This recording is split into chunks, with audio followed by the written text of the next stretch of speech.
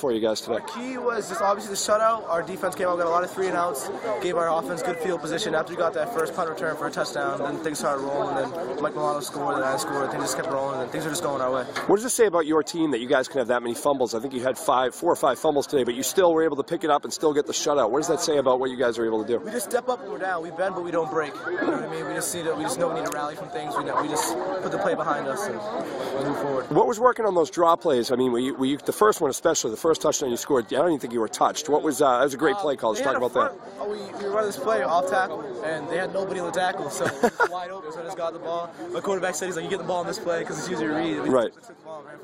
Cool man. All right, we'll talk to you next week. Thanks.